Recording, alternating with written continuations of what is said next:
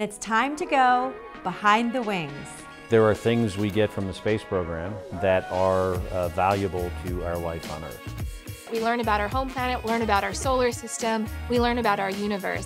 We are in a renaissance for the industry. The level of innovation is just shocking.